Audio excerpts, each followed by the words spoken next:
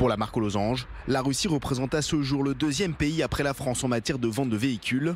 Pour la marque aux losanges, la Russie représente à ce jour le deuxième pays après la France en matière de vente de véhicules. Depuis hier, la pression sur Renault était montée d'un cran après la prise de parole du président Volodymyr Zelensky devant les députés français. Les entreprises françaises doivent quitter le marché russe. Des images qui appartiennent désormais au passé. Cette usine Renault à Moscou est depuis hier soir à l'arrêt. Le constructeur automobile français qui avait jusqu'alors poursuivi ses activités en Russie, et ce, malgré la guerre en Ukraine, a fini par céder à la pression. Le groupe a annoncé hier soir suspendre sa production en Russie.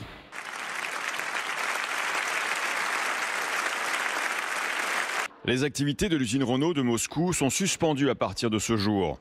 Nous agissons de manière responsable envers nos 45 000 salariés en Russie.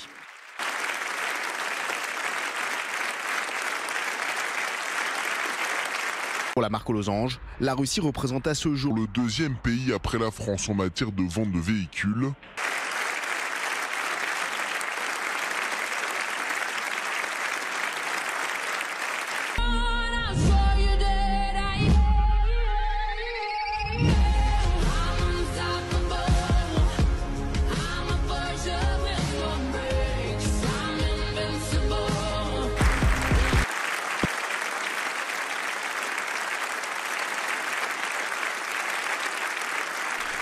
Le président Zelensky veut nous entraîner dans un engrenage dramatique pour le continent qui ne servira pas les Ukrainiens.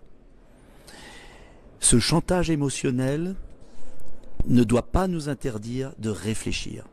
Et quand le président Zelensky accuse les entreprises françaises qui euh, sont en Russie de tous les maux, quand le président Zelensky tord la réalité de ce qui s'est passé au Donbass depuis la signature des accords de Minsk.